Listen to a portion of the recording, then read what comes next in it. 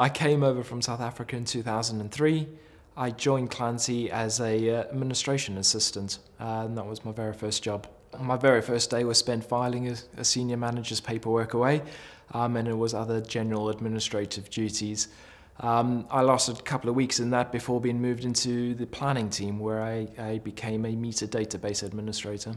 So yeah, I felt really positive being able to move on from what I was brought in to do really quickly within the space of a couple of weeks. And that role is, yeah, completely undervalued. Um, they provide a really great platform for you to start a career it really expands your understanding and knowledge of what the industry is about, what the company is about, and what we do in, in terms of that core. Um, but I think it's it's you know the same nature across the wider utilities organisation. The role, especially a planning role, is tends to be uh, very undervalued in terms of the benefit that that can bring to an organisation and its its linkages into cost. Clancy as an employer, um, I found personally very rewarding to work for. I think it, you know, the cliche saying goes, "You're more than just a number," and I think for me that that really is true with this this business.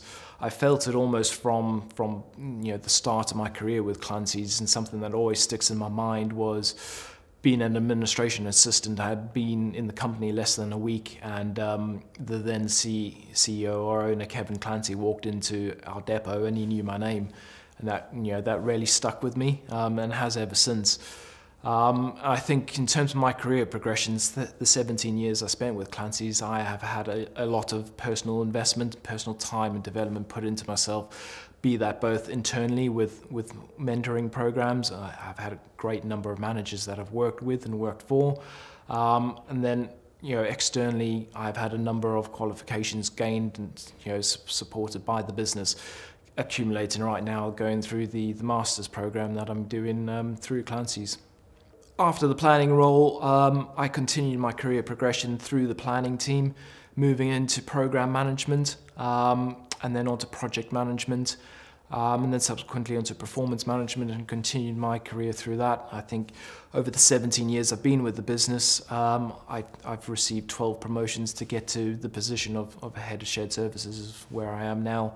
Um, and yeah, that's basically taking it step by step, learning and mastering a role, and then you know having those open conversations to say I felt I was ready for the next step, which the business supported me every step of the way. If you're looking to be more than just a number and you want to form part of our family, this is the place for you.